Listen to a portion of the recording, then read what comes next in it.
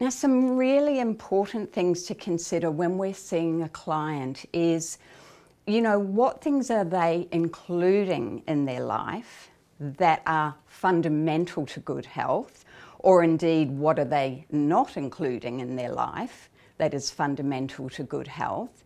And then to consider well, are there obstacles to their health? So, are there things that they are doing that are actually preventing them being the healthiest person that they can be.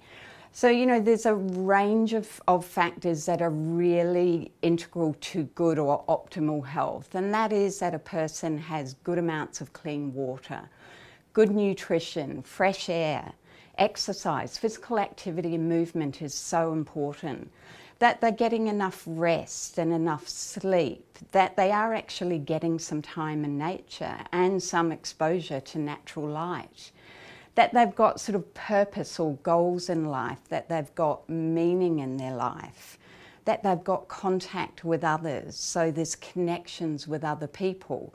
And for many, spiritual beliefs are, are also a really important facet to good health you know, then we can look at some things that are really obstacles to being the healthiest person you can be. So it might be exposure to chemicals and pollutants.